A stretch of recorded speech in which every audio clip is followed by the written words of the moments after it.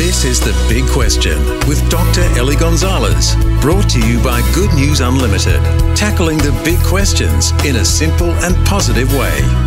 And today's big question is Was Jesus married?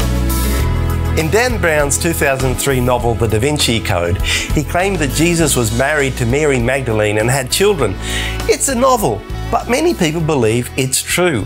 It's actually not a new idea. It pops up every now and then, and it's an important question. You see, if Jesus was actually married and had children, it undermines the truth of everything meaningful that Christianity has to say. It means that what the Bible tells us about Jesus is false.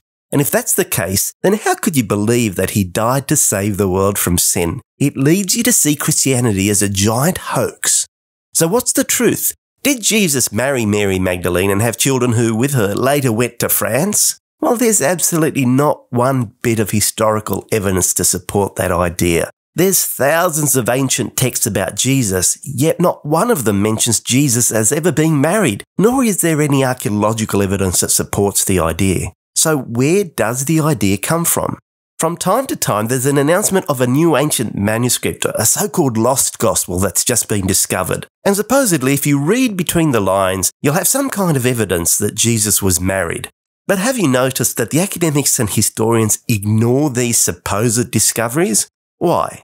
Firstly, because again, there's no actual evidence in them that supports the idea of Jesus being married or having kids. And secondly, they were written hundreds of years after the actual life of Jesus Christ. Why would you go hunting for dirt on Jesus in documents from many generations after his lifetime when you have the actual eyewitness reports easily available? And they say nothing about Jesus being married to Mary Magdalene or having children. The key issue is this. Was Jesus of Nazareth just a man or someone far greater?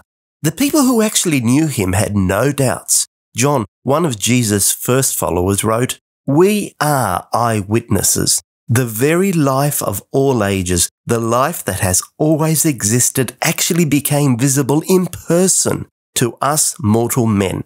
That's eyewitness evidence. It's evidence that, although fully human, the life of Jesus of Nazareth rose far above the lives of everyday people in terms of who he was and what he did. He didn't have time to get married and have children because he came to save the world. For more, contact goodnewsunlimited.com.